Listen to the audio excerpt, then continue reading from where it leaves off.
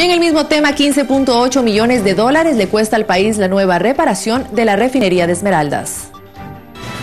El jueves de la próxima semana se podrá confirmar que los 15.8 millones invertidos en la refinería de Esmeraldas para repararla fue lo adecuado y no un nuevo desperdicio de recursos para el país. Ese día termina el proceso de arranque de la unidad de craqueo catalítico fluidizado que empezó el 25 de julio. Esa unidad considerada el corazón de la infraestructura refinadora de crudo más grande de Ecuador volverá entonces a su capacidad máxima de refinación de 110 mil barriles de crudo. Antes del 8 de marzo, cuando empezó el mantenimiento, esta unidad tenía 12 puntos calientes, es decir, su riesgo de explosión por superar los rangos permitidos eran inminentes. Ahora, según el ministro de Energía y Recursos No Renovables, todas esas fugas fueron eliminadas. Falta mucho por hacer.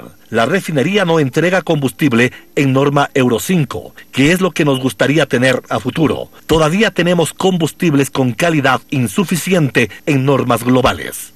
Carlos Ibarra, Salazar, RTU, el canal de las noticias.